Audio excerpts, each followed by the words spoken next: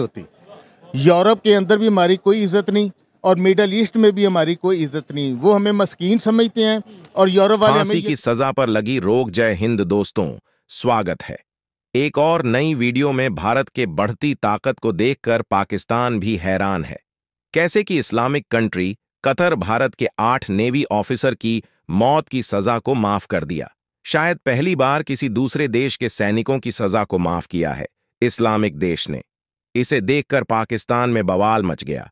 पाकिस्तान क्यों? कैसे करता रह गया? पूरी खबर जाने वीडियो में कतर में गिरफ़्तार।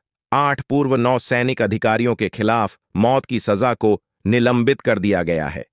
पिछले साल कतर में गिरफ़्तार किए गए आठ पूर्व भारतीय नौसेना अधिकारियों को कतर की अदालत ने मौत की सजा सुनाई थी।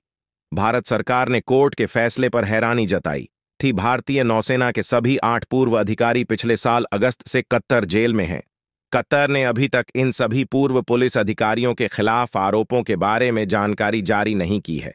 परिचितों के मुताबिक, अब इन सभी पर जासूसी का आरोप थे।